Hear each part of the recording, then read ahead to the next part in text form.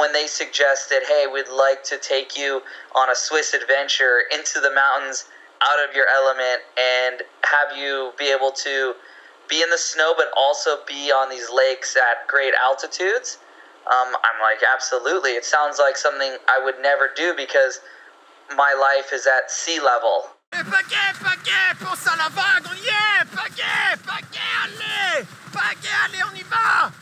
Allez allez, Paddle, c'est comme ça qu'il faut faire, ouais, paddle Eh mais vous foutez quoi les gars là?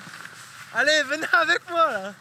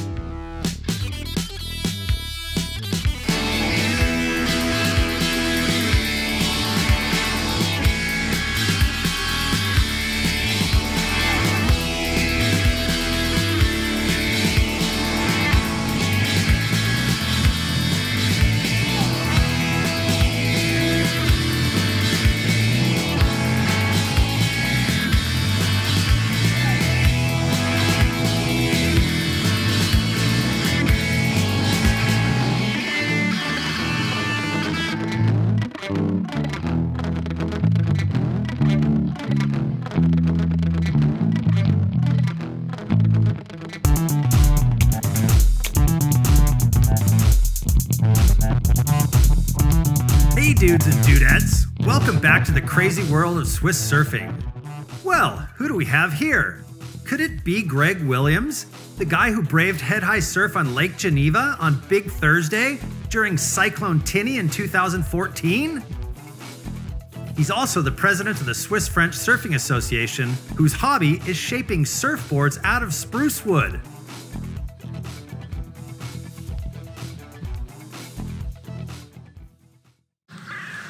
C'est le jour, c'est le jour J. On y va, on attaque la plus grosse vague de la saison.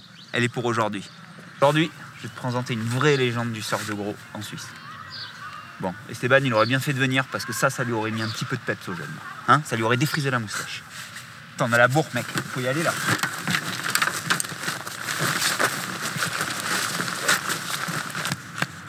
Allez, Val, on y est là bientôt. Allez, Val, on y va, Val. Allez, allez, allez.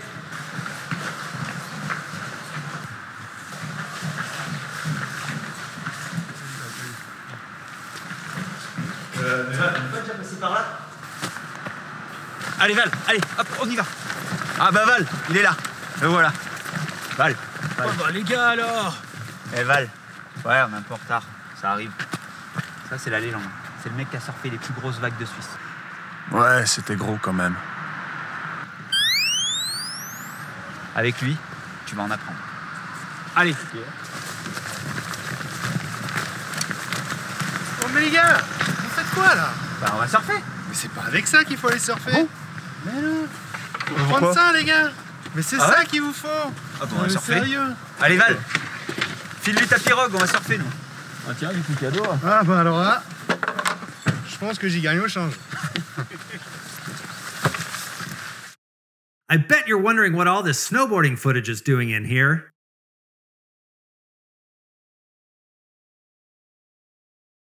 Well, as strange as it may seem, a few Swiss snowboarders' passion for surfing gave birth to one of the greatest winter sports events of all time. William Badu back up in the start to gate. go. He is back. So our uh, reigning men's freeride world tour champion was injured, missed the entire season, making his comeback here at uh, the Verbier Extreme. He had one of the biggest crashes you can imagine. S- Riding in Chamonix at the, end, at the beginning of the season.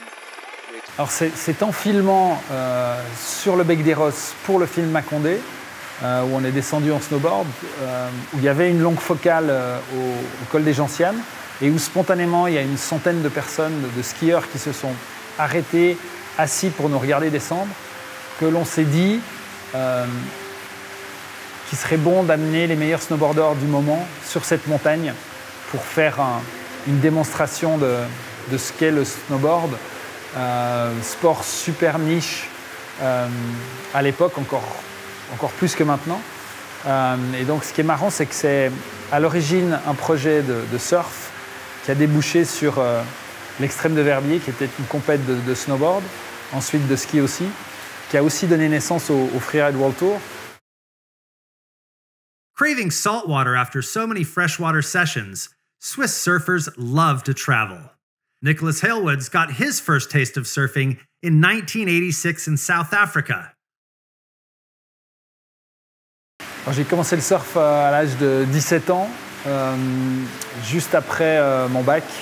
Euh, parti avec trois copains avec qui j'avais commencé le snowboard euh, huit mois avant ça. Et euh, on est parti en Afrique du Sud.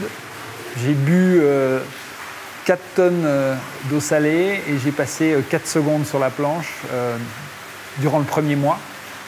Puis ensuite, hasard des choses, on a décidé d'aller à l'île Maurice. Et là, un très bon surfeur qui a vu ma planche et qui l'a trouvée belle m'a proposé de l'échanger contre une grosse planche sur laquelle euh, j'ai pu commencer à prendre des vagues sur le corail. Et là, ça a été euh, le déclic.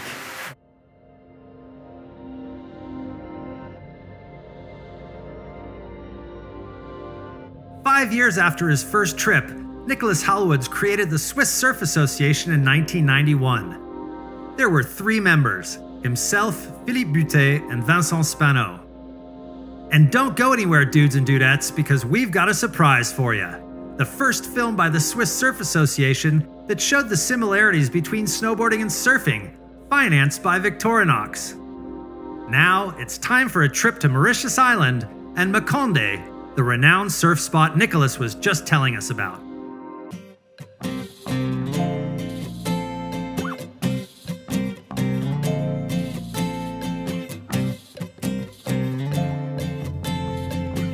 Even back then, the guys surfed pretty well and were very optimistic about the future of Swiss surfing. They weren't wrong. Just like the Jamaican roster rockets at the 1988 Winter Olympics in Calgary, a delegation of Swiss surfers represented their country for the first time at the 1992 World Amateur Championships in Lacanau, France. Definitely newsworthy, but did they pull off any exploits at the few World Championships where they were allowed to compete?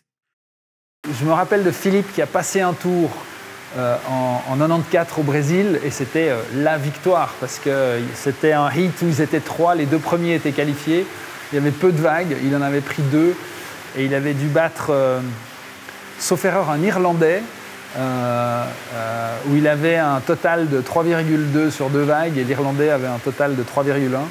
Donc on a fêté ça dignement.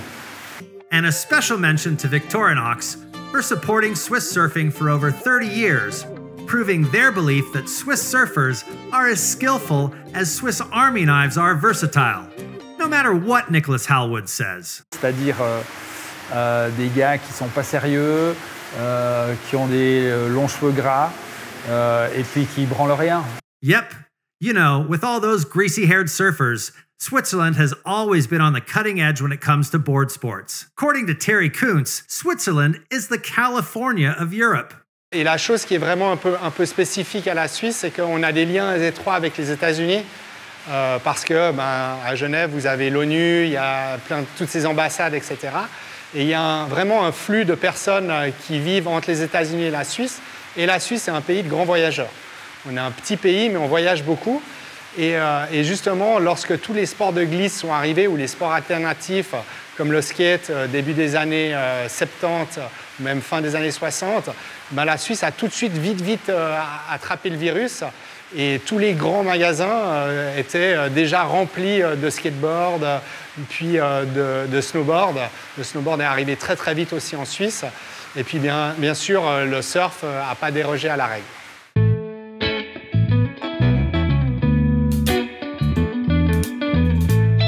Riding POW surfboards without bindings is like going back to snowboarding's roots. The connection between the two sports has never been stronger, and they're both just as difficult sometimes. Isn't that right, Valentin?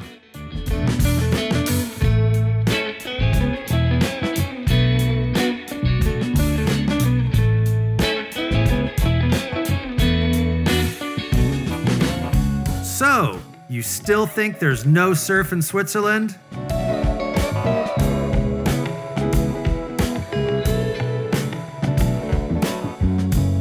In our next episode, discover the different ways Swiss surfers have invented to get the stoke of surfing without access to the ocean, while Valentin Esteban continue their crazy quest to find Switzerland's perfect wave.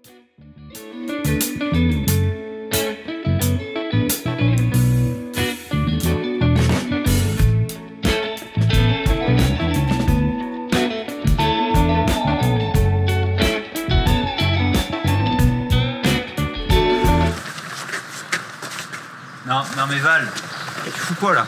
Eh, j'ai pris un coup pour les stèles. Chérie, tip top avec son board bag. Ouais, pas mal, pas mal.